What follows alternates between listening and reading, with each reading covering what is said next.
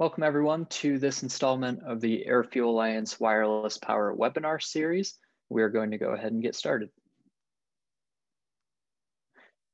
Uh, a reminder on our webinars, all, all participants' microphones have been muted. Please send questions to the host at any time using the Q&A function, uh, not the chat function, as we don't, we won't be monitoring that, uh, and we'll answer questions at the end of the presentation. The AirFuel Alliance is a global coalition of innovative companies committed to a world where we can power up without plugging in. Uh, AirFuel leads standards development for leading edge wireless power technologies and acceleration of their development. Uh, AirFuel has a diverse membership representing the full spectrum of the wireless power value chain. You can learn more at our website at airfuelalliance. or airfuel.org.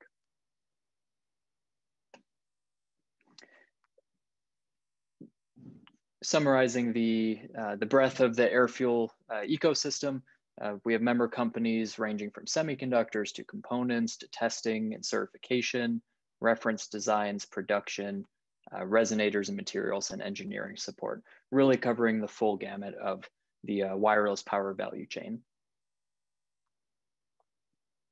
And in today's webinar, we're going to be walking through step by step, preparing your product for electromagnetic compatibility or EMC. And presenting this topic today is Ky Sealy, Senior Principal Engineer at WiTricity. I'm going to hand it off to Ky.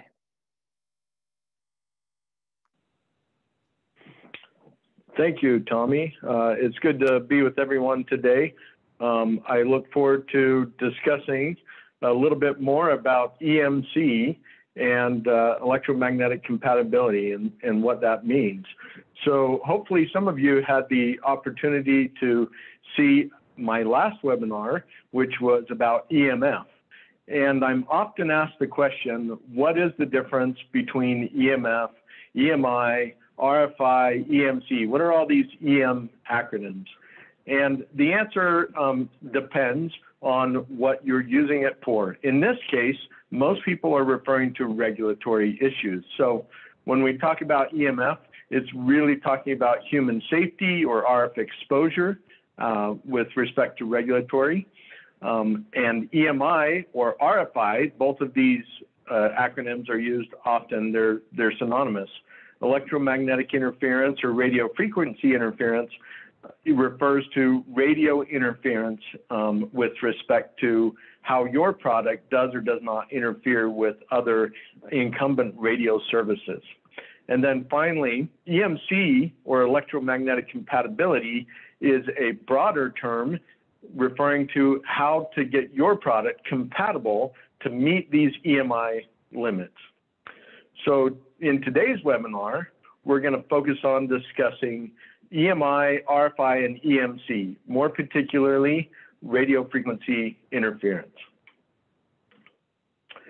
So in understanding EMC, the key to success is really following uh, four a four-step method.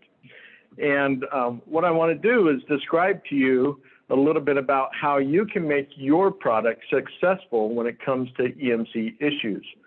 So the first step, and people often take this for granted, but it really is understanding EMI. What is EMI? What is EMC?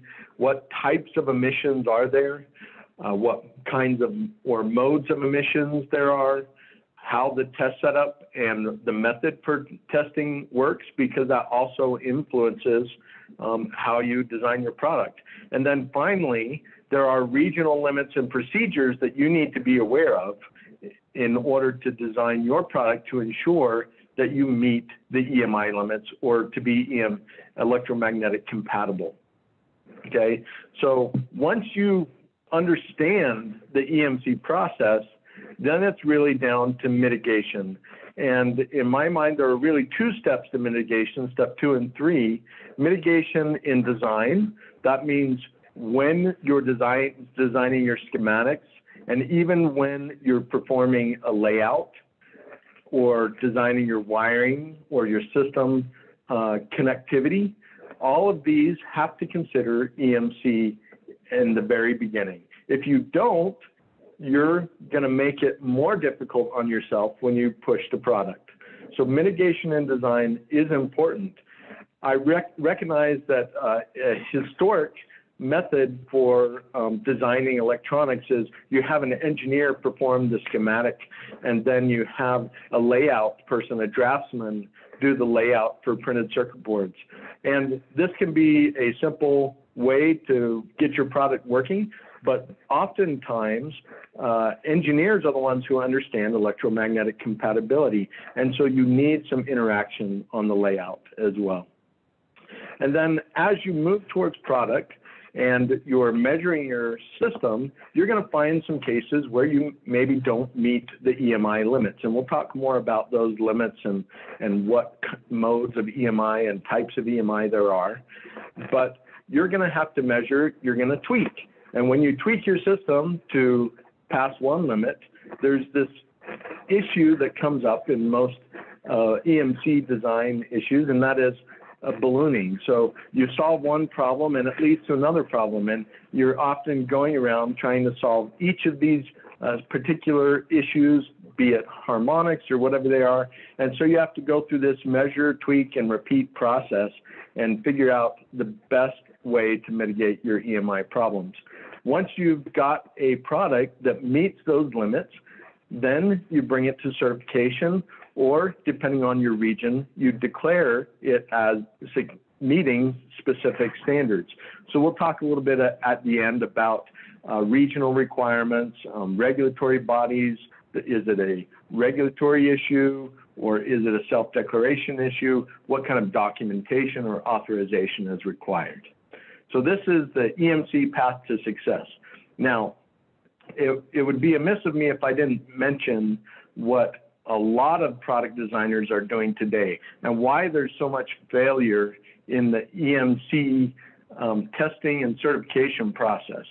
That really comes down to the fact that many people don't start with EMC in mind in the beginning. In fact, what usually happens is you start designing your wireless power transfer system because that's challenging enough. You go through and, and you meet all of your functional requirements for your manager or your client. And then once you meet those functional requirements, someone says it needs to be more robust. So then you focus on making it robust. You go through all this work, it takes a long time, and then finally someone says, okay, now it's time to bring it to product. So you take it to a test lab, and all of a sudden you find out you have some issues in your product design. You thought you had complete your design, but no matter, what you're going to do is hire a consultant and have them help you suppress these particular emissions issues. And once you do that, you're going to go to certification, right? Well, it turns out, especially for wireless power, that is really not a path to success because even EMC experts don't fully understand wireless power. And so you need to consider it in the very beginning. And that is what we're going to talk about today, making sure you understand what EMC is and how you can mitigate it up front. So in terms of types of EM disturbance, uh, there are really two types that are measured in uh, most regulatory standards. The first is radiated emissions. These are uh, usually far field emissions that are radiated from your product. And when we talk about products in the testing and certification world, this is usually called equipment under test or your device under test, EUT or DUT. You'll see both of those used depending on the standards that you're using.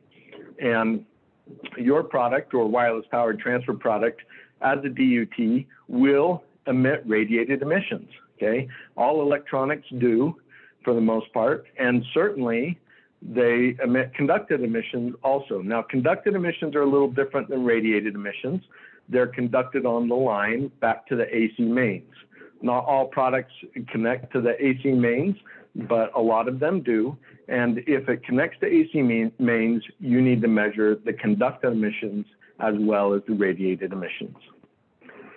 So let's talk about how these are measured, and then that will bring us into what the different kinds or modes of emissions are and, and mitigating each of those. So the first one is the testing setup for a conducted emissions um, test. Now, this is pretty common globally in how you would perform uh, conducted emission testing. Basically, you set your DUT on an isolated table. You um, try to ensure that the radiated emissions aren't prominent, uh, and what you're measuring specifically is the conducted emissions. So you attach the power AC mains to a LISN, a line impedance stabilization network. Now, what this does is it provides some filtering from the AC main supply from the wall, and it ensures you have a, a fairly clean signal, and then it pulls off any emissions that are conducted from the device under test, and it reads it into a spectrum analyzer or an EMI receiver. A lot of modern spectrum analyzers have these EMI receivers built in. And basically all that means is it has the software to perform these standardized tests, which end up being uh, what we call quasi-peak or average uh, measurements. Now, when you think about this setup, especially for wireless power transfer systems, you also need to consider, and many test labs might not, so you need to help the lab consider that wireless power transfer does have some localized fields, right? And because of that, you need to ensure that the LISN itself is appropriately appropriately grounded and that the AC mains going into the LISN, that would be this little AC mains here, is appropriately shielded so that what doesn't happen for wireless power transfer systems, you don't want it to be coupled in here and have those radiated emissions show up as conducted into the LISN. I have seen that happen before, so it's important that uh, the test lab does everything in their power to make sure what they're measuring is purely conducted emissions. Okay. So let's talk a little bit about the radiated emissions testing setup. Now, this is a little bit different. What we do here is we measure with an antenna the device under test, and the device under test is usually rotated. So it, it spins around, um, and at each angle, you measure the radiated emissions. This is because uh, for a given frequency, you might have a radiation pattern that it comes out of your device and the limits are specified in terms of the maximum emission, no matter what direction that is, the maximum emission and polarization from your device under test must meet the EMI limits. Now, when you're talking about measurements between 9 kilohertz and 30 megahertz, typically that antenna will be a loop antenna. And above uh, 30 megahertz, it's going to be an E-field type antenna, like a monopole, monopole or a directional antenna um, that measures the E field in the in the far field. So typical testing distances for these types of emission testings are three meters or 10 meters. Uh, those are the most common. Sometimes um, you can choose and other times it's specified by the standard. So we'll talk a little bit about those. And in some cases, the limits are specified at even greater distances. For example, 30 meters or 300 meters. And so the test lab may not have that kind of testing space. And so they'll scale the measurement down to the appropriate distance. And there's a way that that's done as well. So this, these are the testing setup for um, radiated and conducted emissions. And that's how that works. Now that you understand a little bit about the types of emissions, let's understand a little bit more about modes of emissions. Now, modes of emissions, at the end of the day, emissions are caused from current flow. And this is important to, uh, to recognize, okay? So when we talk about conducted emissions, it's current flow that's occurring uh, at the power supply with respect to the AC mains grid, right? So what kind of emissions are occurring there? When we talk about radiated emissions, it's emissions that are coming off of the printed circuit board, off of wires, off of lines that are acting as mini antennas in essence. And how those are radiated depends a little bit about the antenna themselves. And we'll talk about that a little bit more as well. So when it comes to differential mode emissions, this is the most uh, commonly understood. I think most engineers come understand differential emissions. This is your conventional current flow, when you have a current and there's a loop, which is required for a circuit design, right? Then you have emissions of some sort, and these are differential mode emissions. Okay, so the, the current flows in one direction, as you see here. Okay. The other kind of emissions, which is often less understood and a little bit more mysterious in some respects, is common mode emissions or common mode noise. In this case, you have an additional loop that occurs somewhere within the system. And when it comes to um, emissions in the AC mains, usually that loop is the reference earth ground. So these emissions, and it's not saying that all currents flow like this, it's saying that currents at certain frequencies may flow like this. You get current that goes in the same direction in or out of the circuit, and then you have a separate loop where current is flowing that maybe you don't intend to be flowing there, or perhaps um, it's uh, just simply misunderstood why the current's flowing there. But those common mode emissions um, exist um, across many electronics, and they're very ubiquitous in switch mode power supplies and uh, wireless power transfer systems. So you need to understand those as well, okay? So let's talk a little bit about the easy one first, the causes of differential disturbance and especially as it relates to wireless power transfer. Okay, so what are some of the causes of differential um, emissions, both conducted and radiated? Well, the fundamental frequency, there's usually a fundamental frequency with wireless power transfer, right? And then you have some harmonics. Those harmonics are caused by the fact that when you want an efficient wireless power transfer system, you're using an inverter that is operating operating in a switch mode condition. Also, on most electronics, you have some switch mode power supplies as well, and they might be secondary to the wireless power transfer. They might be powering low power circuits or other aspects of your design, okay? But because they are switch mode, they are operating and have a fundamental frequency and often harmonics as well. And so each of these has to be considered in differential disturbance when you're talking about emissions. Now, differential emissions, it's really the inductances that matter. And what I mean by inductances are parasitic inductances and more particularly loop area. Okay, so you do not want large loop areas in your design. Usually this is not a schematic issue. It comes down to a layout or wiring issue. And so this is one of the things that happens when you have a poor PCB layout. You might have the best schematic in the world for your particular design, but if it's not laid out well in the printed circuit board, or if the system isn't connected considering all of these loop areas, then you're going to have some radiated or conducted emissions that you don't expect. Okay, and it can also affect, especially in switch mode designs, even your uh, switching transitions that might add additional frequencies that you weren't planning on, uh, small resonances and so forth.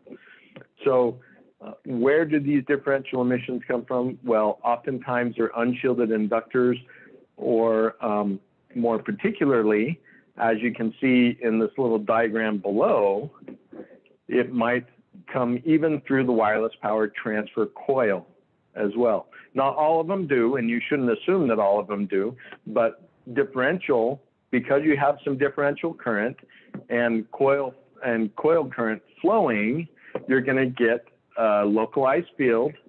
And at some point, you're going to have some of that be radiated. And that radiated EMI um, and even conducted EMI back to the through the AC mains uh, has to be mitigated. So differential mode emissions are proportional in essence to the electrical loop area. So you need to keep that in mind.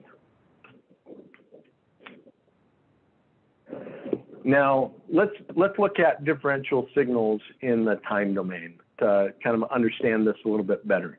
Let's say we have a wireless power transfer system that's operating from a, what we call a differential class D amplifier. So it produces a semi-square wave. It's kind of trapezoidal in nature. And that's a voltage that appears on the output of the amplifier, okay? Now, in a resonant, magnetic resonant wireless power transfer system, this square wave as a voltage potential goes through a resonant um, matching or impedance matching network. And when you measure the current into the coil, it looks sinusoidal. And you'll notice I have, in this case, um, two different designs for a matching network, and they both look sinusoidal. Okay, this is despite the fact that I have a square wave input. You'll notice that this isn't a perfect square wave. The reason is is because the way I've designed the square wave in the simulation is by creating a Fourier series of sine waves up to um, the 59th or uh, harmonic that basically represents the input. So that's a good representation of the square wave in the frequency domain. And when we look at this, okay, you may you may take your oscilloscope, measure the current, and say, I don't understand why I have emissions that are outside of the fundamental frequency when my current looks sinusoidal. Well, that's the benefit of magnetic resonance, and it, not all induction systems or wireless power induction systems look like that, but it is a benefit for magnetic resonance but we shouldn't make assumptions based only on what we see in the time domain. So this is the frequency domain. We have the coil current um, in relative magnitude on the uh, y-axis, and then the x-axis is frequency. And if you look at the harmonics, um, square waves produce odd harmonics in this case, so that's why we see odd harmonics. Each of those numbers represents the harmonic number okay? And if I look at the series matching example, so this is the first go-to design that many people use when they design a resonant wireless power transfer system, is they put a some series capacitors in series with the coil and they say uh, match it to the appropriate resonance and they um, then tune their amplifier to produce uh, the current that's needed. And when you do this, it looks sinusoidal, but in the frequency domain, you'll notice that it's not always equivalent. Okay, so when we're up at the 59th harmonic, for example, which is around 400 megahertz, right?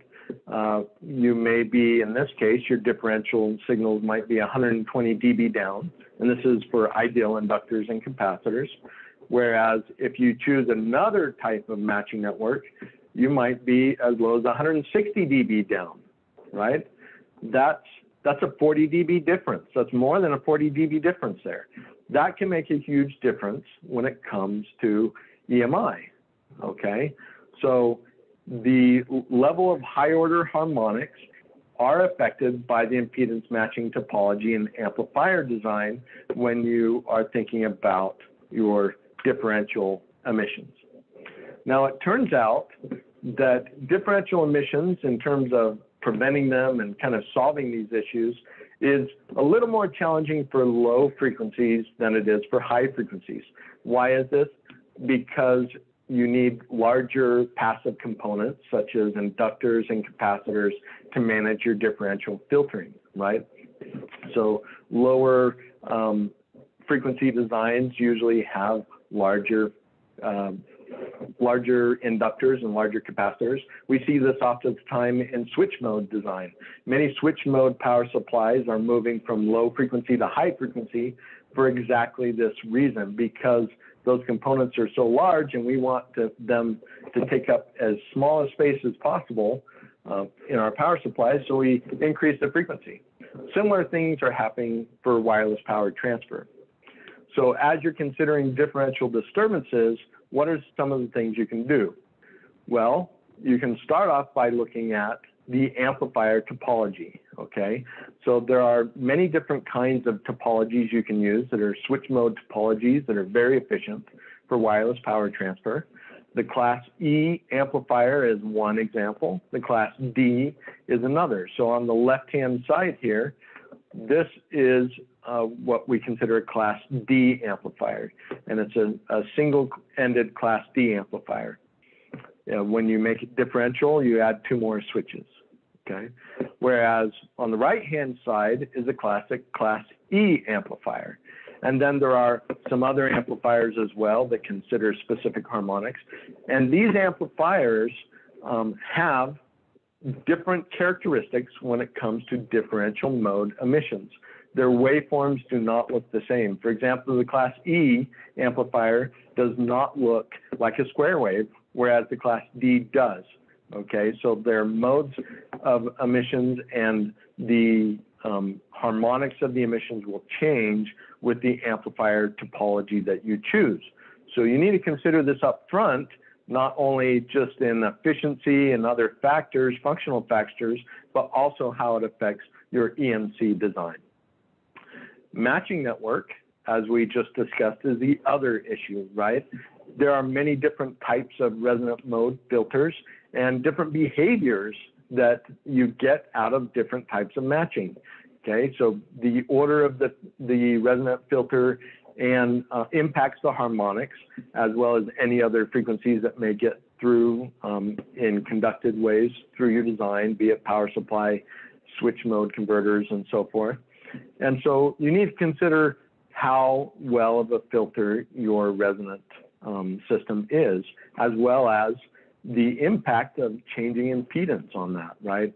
That's, that's kind of a different issue, but it all works together functionally and for EMC. So consider that up front.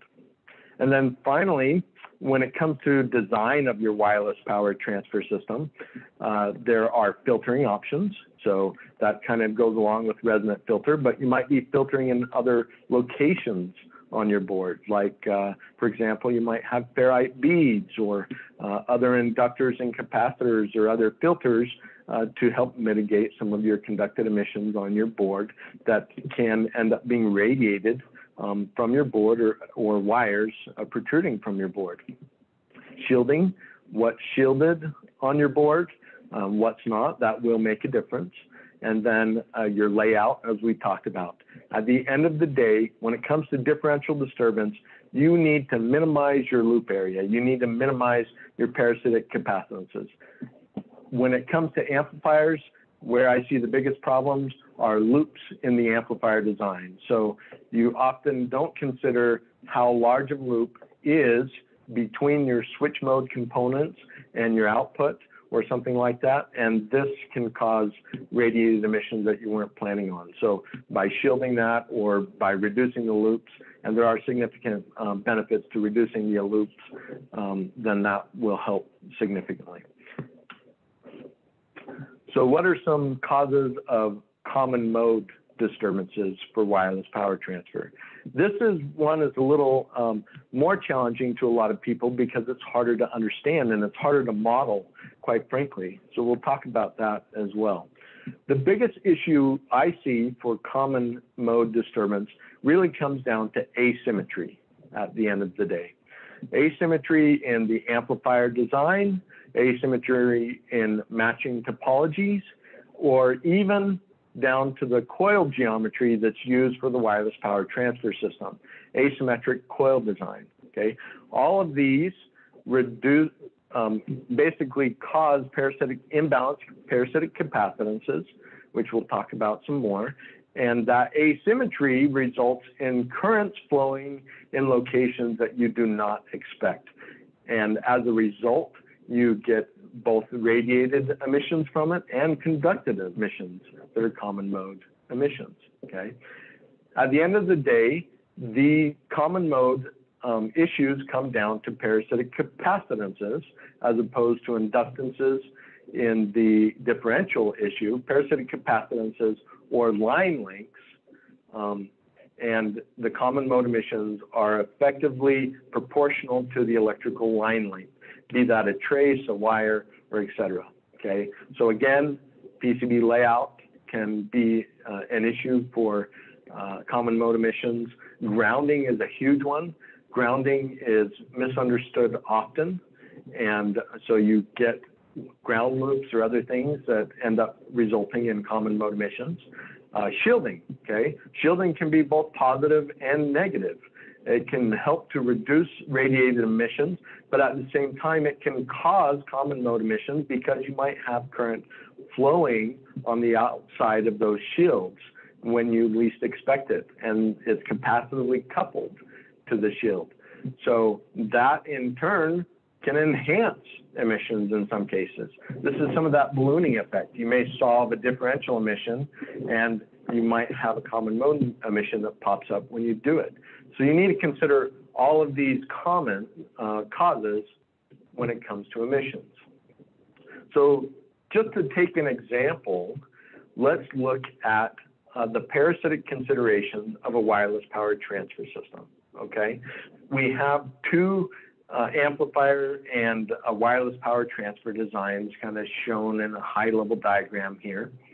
On the left, we have uh, an asymmetric, unbalanced, single-ended design.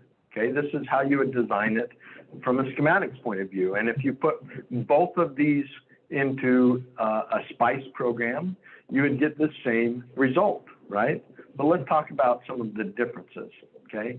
So in the asymmetric design, you're only focused on your filter as it uh, is from a single-ended point of view. You have your coupling coil to a PRU, and um, then you get your power out of your wireless power transfer system. In the symmetric balance differential design on the right, it's effectively the same, right? If you uh, take this inductance here and you double it, it'll be the same inductance that you have over here, okay? If you take the capacitance here and you have it, it'll be the same effective as the single-ended design, right? This is why SPICE, in SPICE, these two designs look equivalent. But let's look a little bit quick, uh, closer about the reality of these systems, okay? As soon as you lay out these systems in a printed circuit board and connect your wiring, you have parasitic capacitances that exist, okay? You have self-resonances that occur in the inductors, okay? And, and at some point, they actually look like capacitors. Then you have these little capacitors that exist on the traces between the matching network, between the PRU and the PTU, the power transfer unit, the power receive unit, and even between earth ground in some cases. So a user comes and puts their hand on the device and you get a loop back to the power transfer unit. Okay. And so if many of you have ever tested, um, say, uh, a wireless power transfer design that's in a prototype stage, and you put your hand on the PRU and suddenly the voltage changes, and you scratch your head, why is this occurring? Usually, this is the reason. You have some uh, parasitic capacitance, an electric field that's induced, and basically it's caused by common mode unbalanced design. On the right-hand side, however, even though these parasitic capacitances exist, the balance means that they sometimes cancel out, or at least to some extent possible when it's properly balanced. The current through this capacitor, as an example, and this capacitor should be about equal and opposite, right? So it can help cancel out some of those current uh, common mode emissions. Now, these problems uh, are caused by asymmetry at the end of the day, and it is more challenging in this case for high frequency designs because the parasitic capacitance capacitances are become more dominant at the higher in frequency you go, right? So how do we prevent these common mode disturbances? And this is one of the things that you'll fight against um, as you do higher and higher frequency uh, wireless power transfer or, or anything for that matter. So you need to consider your symmetry first and foremost. Your differential amplifier and matching network, is it symmetric?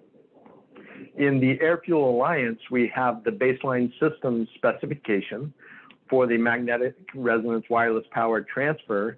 Um, and in there, we have some recommendations. For example, it's a requirement that the amplifier utilize balanced matching network. And this is why we, we want to help you up front by minimizing these common mode currents. Also, we want to minimize the effect that a human in the loop causes when you put your hand on that wireless power transfer device. We don't want that to be the cause of changing voltages and powers. That doesn't make a lot of sense. Okay, so we need to minimize these common mode currents. And, um, and the way to do that is symmetry. The other recommendation we have in that baseline system specification is to have uh, a coil geometry that is rather uniform in its geometry or symmetric in its geometry. Why does this matter? Well, it turns out if you, in a common coil, if you just wind it inward, as you go along the length of that coil, you're going to have a different voltage with respect to the earth ground. Okay. And those different voltages mean that you might have a higher electric field in some cases.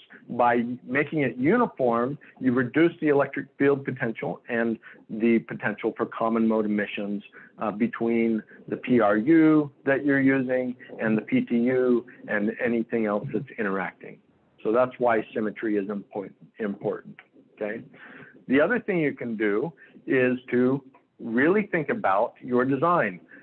Inductors are not really ideal especially the higher frequency you go, you can't just put an inductor in your system that's rated at low frequency with a specific inductance.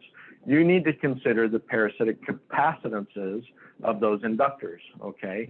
And that's a self-resonance of the inductor. So you need the self-resonance to be as high as possible. The same goes for the PTU resonator coil, okay? By having higher self-resonances, you're gonna have less electric field, uh, which will help in EMI. You're going to have also um, uh, better filtering, right? So all of those things are important. And for the PTU resonator coil, you're going to have a higher quality factor if your self-resonance is higher. Okay, so that doesn't come into play. And then finally, uh, on the design side, when mitigating common mode disturbance, many, many uh, designs have common mode chokes in them. Sometimes on the wiring, it'll be a ferrite clamp. Um, sometimes it'll be looped, sometimes it won't. And oftentimes in the design itself, there are conducted common mode chokes and other techniques you can use. But at the end of the day, again, common mode disturbance comes down to minimizing line, line lengths wherever possible. So let's talk a little bit about the uh, regulatory regional requirements. So now that we kind of understand causes of emissions, we understand some ways to mitigate them for wireless power transfer, you're, you're ready to take your product, you've gone through the testing process. What are the actual requirements? What do you test to to make sure you're going to pass? Well, the first thing you need to know is that it depends on the region or the country in which you're operating, okay? and or selling your device. And depending on that region, it will either be an authorization or it will be a self-declaration. Okay, there are two different, um, general different modes. I'm going to focus on two regions that are uh, maybe the most common for um, issues or trying to understand issues. The, the United States of America, for example, requires authorization for wireless power transfer systems. In fact, the Federal Communication Commission, the FCC of the U.S., is the authorizing agent for the United States, and they put out what's called a KDB, a knowledge database article, 680106. And you can look this up. That is specifically related to authorization for wireless power transfer systems. And there's an attachment at the bottom of that KDB that you should also read. It talks about EMF and EMI and what's required to get your wireless power transfer system authorized. Okay. Now, the European Union, on the other hand, is a little bit different. Instead of an authorizing agency, the EU requires a self-declaration. So it's a self-declaration uh, process. And there are uh, directives associated with that declaration. And I'll talk a little bit more in depth about the one, two, three steps for how to ensure that you meet the directives. But basically, those directives come down to three different directives the radio equipment directive, the electromagnetic compatibility directive, that should say electromagnetic compatibility, and the low voltage directive. Okay. And so you need to check your regional requirements when you're thinking about certifying. But to make this a little more complicated, and, and hopefully I can simplify this for you, how do you know which EMC limits apply? Because when you dig into these uh, authorizations, you'll see, and I'll show you in a minute, that different limits apply depending on how your system operates and what type of a device it's considered. Okay, most uh, countries either consider a wireless power transfer system as an ISM device, which is industrial scientific medical device, or a short range radio device. And it turns out that it does make a difference and it's important to distinguish. Okay. Now, generally speaking, a wireless power transfer system is an ISM device. Okay. And this is a hotly debated topic. So I'm giving you my view on this topic, and I have studied it extensively and would be happy to discuss it with anyone. But in the ITU-R radio regulations, you'll see the definition of ISM applications. Okay, basically, a wireless power transfer system generates and uses radio frequency energy locally. Okay, and it is not used for telecommunications purposes, at least in all of the wireless power transfer applications and standard applications I'm aware of. So WPT is an ISM device unless you use the wireless power transfer fundamental field for purposes of telecommunications. And in that case, it's considered a short range device radio. Okay, so how do we distinguish whether or not telecommunications is occurring in the wireless power transfer field? Well, this also may be interpreted differently depending on the region in which you're operating. Okay, for example, in the United States of America, and I should say there's been uh, an update on this, and I'll talk about that in a second. The FCC has made a recent ruling that will go into effect on May 3rd. And the, uh, the USA considers uh, wireless power transfer as ISM. However, in many products, such as AirFuel magnetic resonance and others, there are radios in the product, Bluetooth radios, Wi-Fi radios, etc. Now, these are not ISM devices. They are, in fact, radios. And they must be authorized under a radio uh, regulation. FCC Part 15, Subpart C is for radios. Okay. So you need to consider that when you have a radio in your system. On the other hand, wireless power transfer itself is authorized under Part 18, which is for ISM equipment.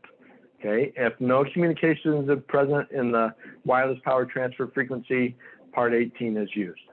Now, the United States considers communication as um, things that do not include in-band modulation for the purpose of load management used only to the extent necessary to enable safe and efficient operation. Okay, this is in KDB 680106 that we talked about, and you can read that in the attachment. Basically, uh, for example, the Qi standard uses in-band load modulation for the purpose of safe and efficient operation to communicate and manage the loads. So in the United States, that is not considered telecommunications. Okay, it can be authorized under Part 18. Okay. Um, now, uh, just some of you may ask, well, if I have both a radio and wireless power transfer in a system, how do I authorize under both of these parts? And the answer is usually you'll authorize the radio without operating wireless power transfer system under Part 15C, perform all of those standard radio tests, and then you'll turn all of the system on under Part 18, including the radio, and you exclude the radio emissions that were tested, and everything else falls under that Part 18. So that's the United States. Let's talk a little bit about the EU because it is in fact different. Okay, in the EU, any in-band uh, radio communication or what they call radio determination, which basically means uh, tracking the characteristics, position, or velocity of an object, results in the wireless power transfer system falling under the radio equipment directive. Okay, so in this case, any in-band communication falls under RED. And that would include, in my opinion, it, the Qi system in-band communication that occurs in that case would result in the EU in the wireless power transfer system being a short range device radio. So it would have different limits, okay? On the other hand, if it does not have in-band communication, such as the AirFuel magnetic resonance specification that uses Bluetooth LE out of band, that would fall under the electromagnetic compatibility directive and you would also need to meet the low voltage directive, okay? And these are different limits. The EMCD has slightly different limits than the RED when considering the wireless power transfer product. So what do these limits actually look like? Let me give you a, a, few examples and I'll run through some of these quickly, but I'm happy to answer questions. Okay, conducted limits are fairly straightforward.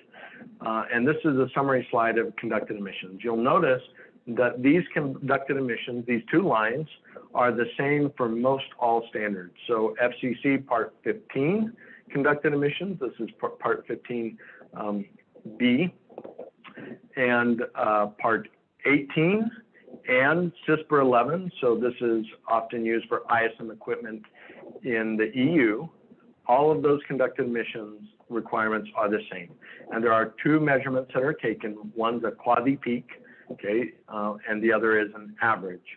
And um, I, am not going to go into details about the differences between them, but in essence, if uh, the the signal is constant and um, then it will the average and the quasi peak will be, be very close to each other, if not the same.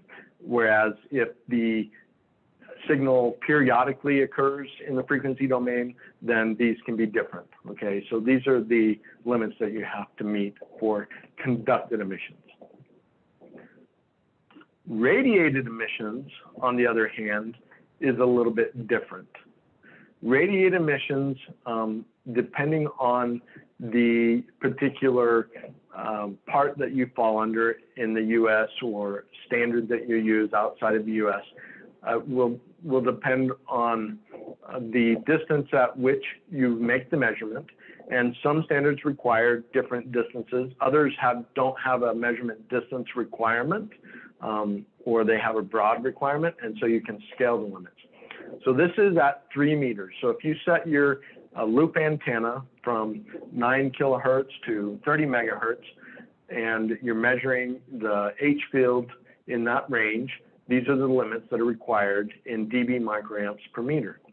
Okay, you'll notice here that there's a difference in part 18 limits. So if I take a look at these two limits here, they're the same limit, but there's a difference between them of, of around um, 5 to 6 dB or so.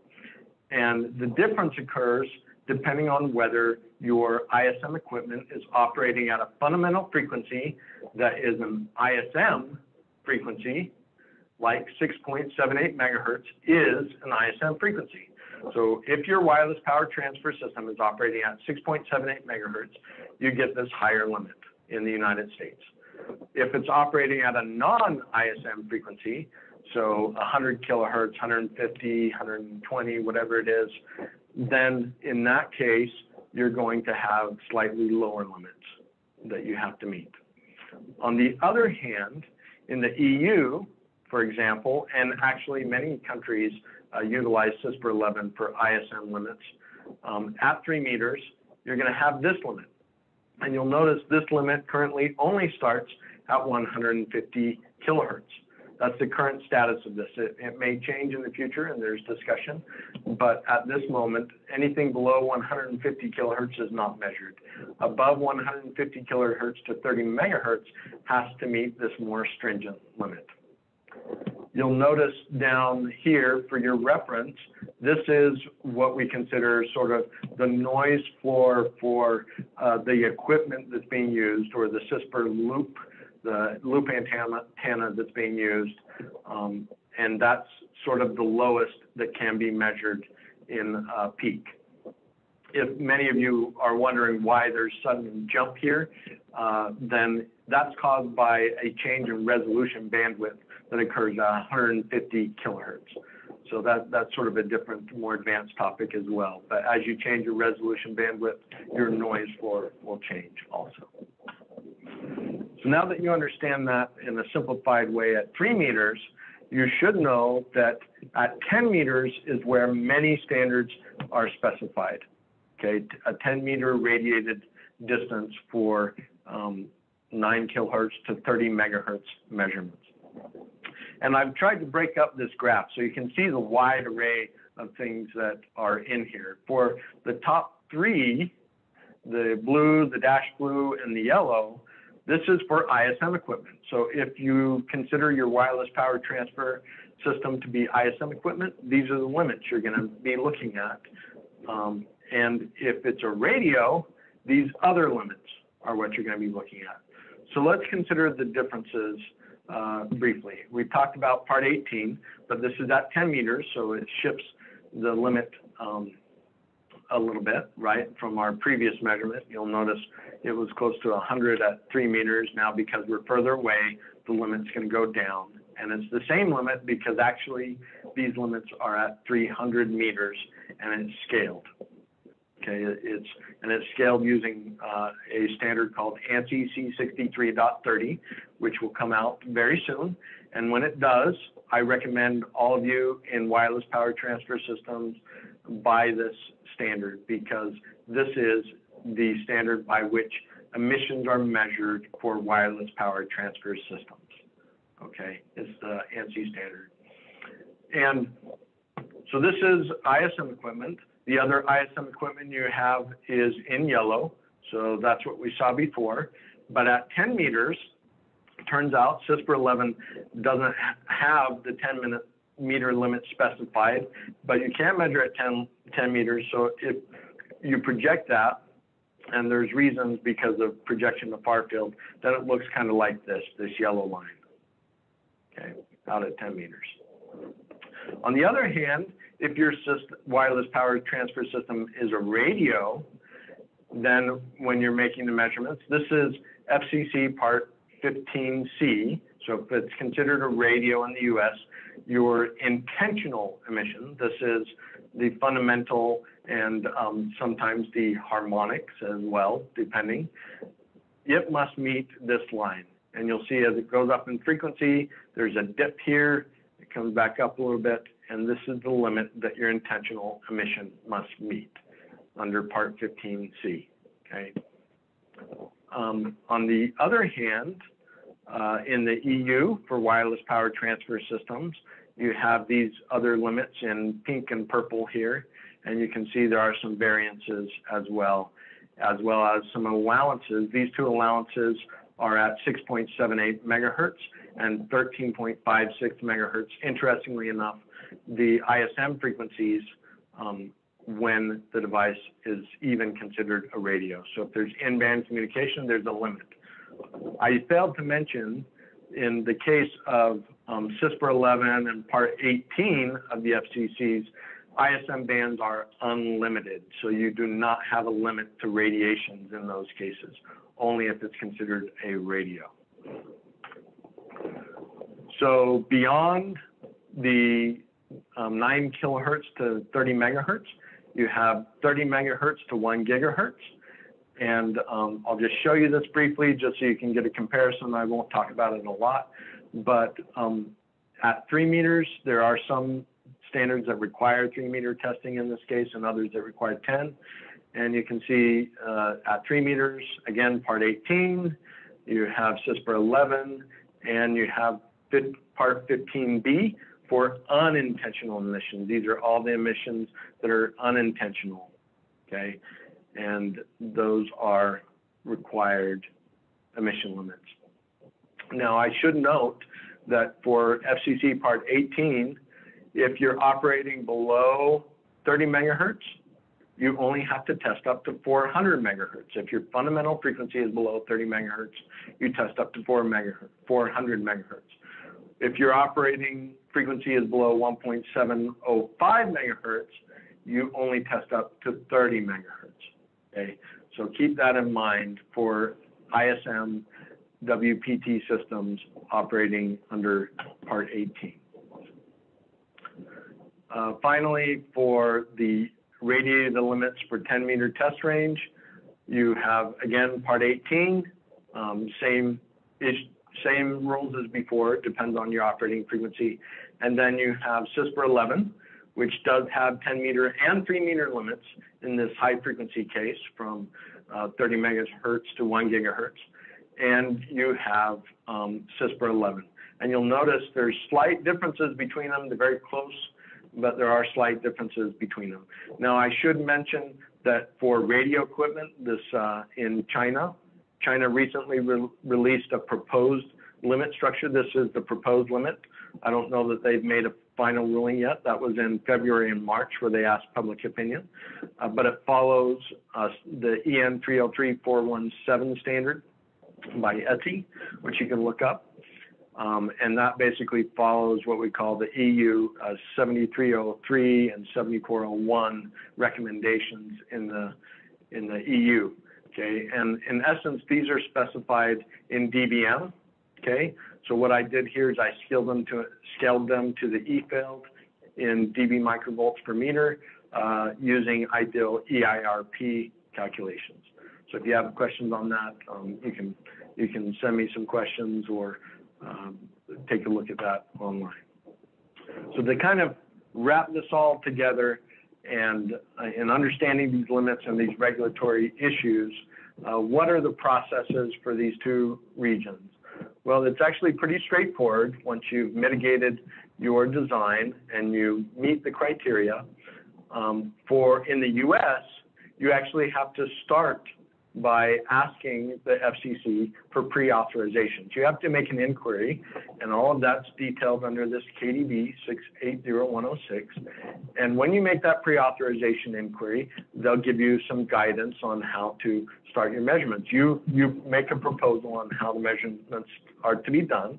I would recommend uh, similar to what I shared today. You perform your EMC assessment, under those parts, the radios under Part 15C and B, the ISM under Part 18, and you perform uh, your RF exposure EMF assessment like we talked about in the previous webinar. Once you meet the criteria, you submit that information to the FCC and you follow their direction. They may ask for more information depending on what you submit and how you submit it. Once they authorize your device, you obtain an FCC ID, and it's posted in a public FCC database. Okay, so you can read about those rules and how that's done. You can also read about other devices that have been posted. Now, just for your information, I should mention that uh, when you, the FCC has recently released an update to Part 18 that will go into effect in um, both Part 18 and RF exposure rules, actually, and this is important, uh, that will go into effect on May 3rd. Okay. Basically, in Part 18, they've added the definition for wireless power transfer to clarify that it is an ISM uh, issue. Okay, so that makes it real clear. They've also added some RF exposure rules from 3 kilohertz to 10 megahertz that you need to be familiar with um, as it relates to basic assessment. Okay, and previously the rule started at 300 kilohertz. Uh, now they start at 3 kilohertz. Okay. For the EU, it's a little bit different. Uh, it's all about declaration of conformity. So this is something that you have on hand. You need to have the appropriate documentation if you're a manufacturer, a distributor, or even importer of these systems. Okay, and in a very generalized process, I'll give you the very high level. You basically look at your device. You say, what type is this device? What category does it fall under? You, what kind of risks are there as it uh, pertains to the EU directives? These are the legal requirements. You then determine what directives apply. Okay, And when you determine the directives that apply, this is either the RED, in the case of a radio, the radio equipment directive, or the EMCD and low voltage directive, okay? EMCD focuses on EMC issues. The low voltage directive focuses on safety issues. This is the CE mark that's often talked about, um, whereas RED uh, has both uh, safety and um, radio frequency interference issues built into those directives. Okay, so once you've identified the standards, you assess against those standards that are appropriate. Um, there are different standards that uh, exist, those in what we call the OJEU and those that are not. And there are other standards, and you need to determine what's most applicable. If there are some rules, in certain cases, you may have to um, utilize a notified body and get a notified body certificate. Okay. Mostly this occurs when you have a device that falls under RED, the Radio Equipment Directive, and you're not using a standard in the official journal of the EU, then it requires a notified body certificate. Once you have all of this testing done, you generate your own declaration of conformity and you maintain it and you continue to perform risk assessment. Unlike the um, FCC database, there's not a, a, database you can go to and see all of those CE products because they're maintained by the manufacturer, the um, distributor, or importer. So to kind of close today, I, I, know we've gone long, but I hope this has been useful for you. Let me give a summary of the content. We talked about EMC and EMI. We talked about those important steps to success. And hopefully you've come to understand uh, some of the issues related to EMC for design and for regulatory purposes. We've talked about EM disturbances and measurements, the modes and causes of emissions, and I offered you some tips and tricks for succeeding. And we did some um, limit exploration. So I showed you some of the limits. Uh, it, you'll be hard pressed to find all of these limits in one chart like I showed you today. I'm happy to share that with you. And finally, the authorization process. So with that being said, uh, I know we don't have a lot of time, but if there are any questions I can answer, I'm happy to do so, and uh, online or offline. Thanks, Ky. I hope everybody found it uh, very useful. I certainly did. We have a bunch of questions, and just so everybody knows, typically we end uh, like a couple of minutes before the hour. I think today it seems like uh, we will at least try and get to some of the key questions here, and I'm hoping that people can uh, can stay around. Okay, Ky. So let's not waste any time getting to the questions. The first question I have, a couple of them are actually on the matching network. So the first question is, does it mean that second order matching network is better? Uh, and maybe it helps to go back to the chart in the beginning of the presentation. Yes, let me do that. So this is uh, the example here. Mm -hmm. So to, to answer that question, um, it's not as straightforward as, as you may think. So this is just one example of many. And it's not always the case that a second order impedance matching network is better. Sometimes it's not just to give you one example, if you look at this ideal case, and this is idealized, don't forget that, the third harmonic, which is often um, present or can be seen in uh, EMI, um, is higher in the second order than it is in the first order for this example. Okay, that's not the case for every example.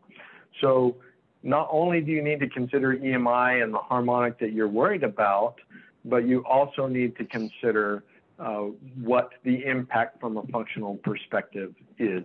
Because, for example, with the second order, some types of second order matching networks, you can get more of a constant current behavior, which is helpful for interoperability.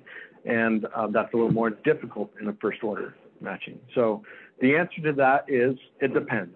And any good EMC engineer will tell you that it depends. Generally speaking, high, higher orders are better. Awesome. Thank you, Ky. Uh, here's a related question. Uh, if the matching network is a parallel capacitor, uh, how do you achieve a symmetric design? And I'm thinking this is about the conducted uh, common mode. Exactly. Okay. So in this case, if, for example, your PRU or PTU has a, a parallel capacitor here, you'll notice in the differences between this asymmetric design and symmetric design that the parallel capacitor is identical.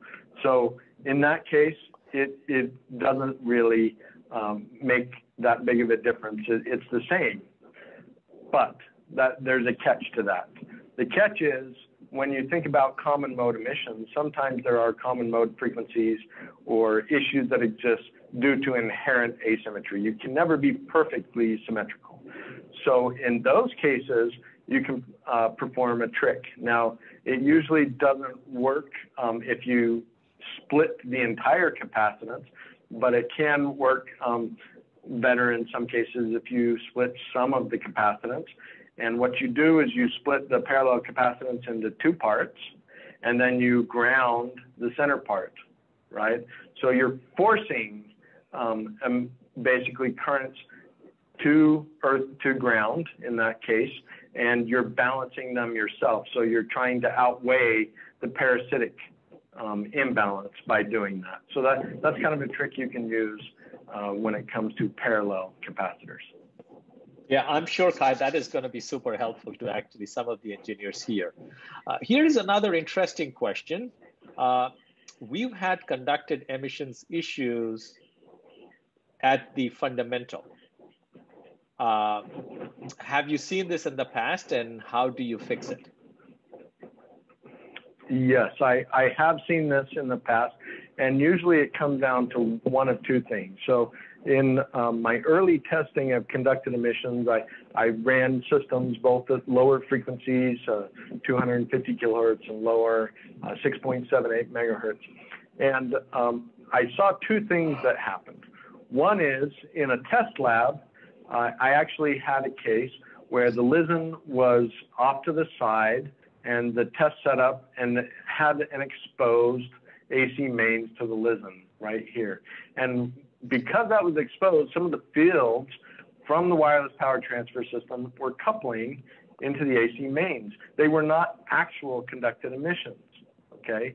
And how we determined that is we, we shielded this and we added a common mode filter at the AC mains of the input of the LISN, not what's connected to the device, but on the LISN mains power, which is perfectly allowable because this is supposed to be per- perfectly filtered.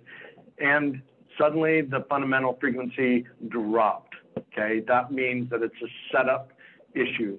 And a lot of labs may not have experience with that because they're dealing usually with unintentional emissions. Okay, so make sure that your lab setup is correct, that you don't have those uh, particular issues. And then once you've done that, you look at the conducted emission and you say, okay, I still am over the limit. And usually what that means, if you're operating on ISM frequency, your bandwidth of that frequency is too high. Now, it's a fixed frequency, so why would there be a bandwidth? The, the answer usually is because there's secondary loops, so currents are flowing in places that you don't want. So usually what that means is you need to consider choking or reducing your parasitic. So line length, the AC mains length can make a big difference between your device and your test. The other thing that's helpful, and this is the first thing I would do if I have conducted emissions problems, is use a shielded AC cable.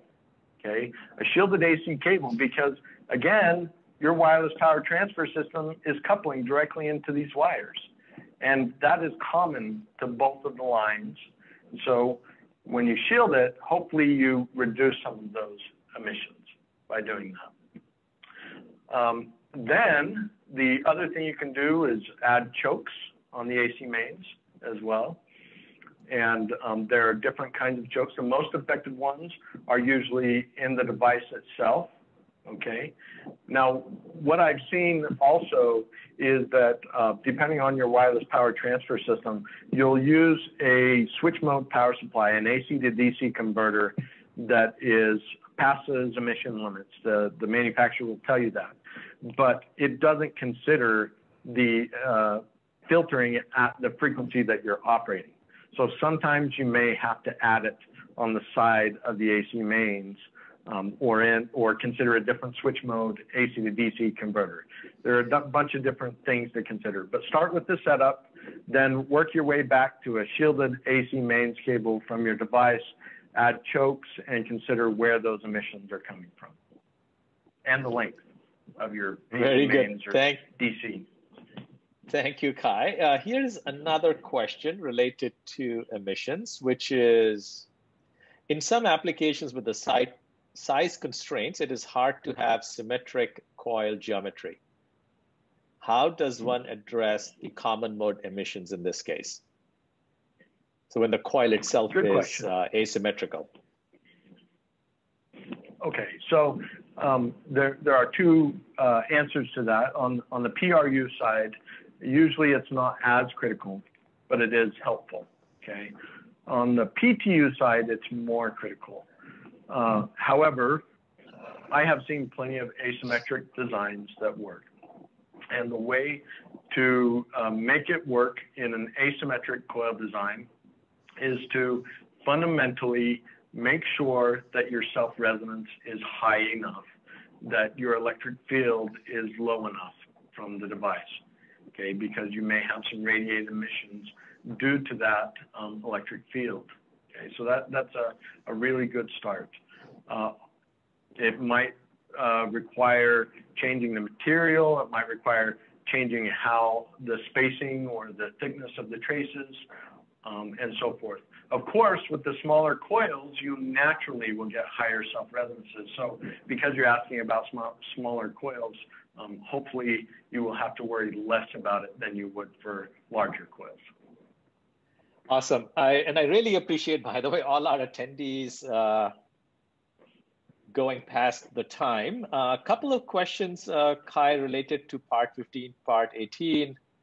The first one is for AirFuel compatible wireless power devices. Do we need to pass both part 15C and part 18 uh, limits? Okay, so when it comes to part 15C and part 18, uh, yes, for AirFuel devices, you need to pass both. However, what passes um, is not the same. So, for example, in, in this case, Part 15C uh, is for the radio, so the Wi-Fi and Bluetooth LE. Now, the Bluetooth LE in an AirFuel system operates um, above the the uh, 30 megahertz, right? So automatically you're looking at specifics to, you're not worried about these, this blue limit here. You're worried about the operation um, above 30 megahertz to a one gigahertz uh, range, okay, and, and above for the actual radiated emission.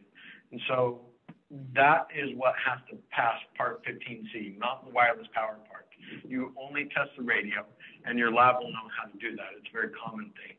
Now, once you past the radio, you're going to be looking at part 18, okay, for the rest of your emissions. So you turn on a Bluetooth LE and you go through and you test the part 18 with the wireless power transfer system operating and the PRU placed in full power. And in that case, the part 18 emissions have to be passed. Okay, so, so that's how both of them work together the radio, Part 15C, wireless power transfer, the whole system under Part 18. Very good, very good. Here's another question related to Part 18. How does Part 18 conducted change as it relates to the fundamental, or does it change at all? Okay, so Part 18, the conducted is the same for all for all of these standards. Um, however, uh, I failed to mention this for ISM equipment. The operating ISM frequency, if you're operating in an ISM frequency, so this would be 6.78 megahertz, 13.56 megahertz, um, 20 something megahertz and so on, 40 something megahertz, all the even harmonics of 6.78 megahertz, those are unlimited. So you do not have, um, in those frequency bands, you have no limit. You do, however, have to stay within those frequency bands. Outside of those frequency bands, you have to meet these limits here. Very good. Thank you, Ky. And I think a bunch of comments are related to great information, very insightful. I hope a lot of uh, our audience found it that way. I certainly did. And maybe that's a good uh, time to close the meeting. You know, this is a topic that we could go on for a couple of hours. Uh, so what my suggestion was, if you still have questions after today's discussion, send them, uh, send us an email and we will try and answer all the emails, as many as we can, or schedule another session. And just so everybody's aware, we will also have a recording of this available. You will get the link to access it uh, in the next you know 24 to 48 hours or so. So thank you all for attending today. You know i i hope you all found it very useful and uh, we'll see you all uh, next month on another uh, AirFuel webinar. Okay Thanks, thank everyone. you all. Bye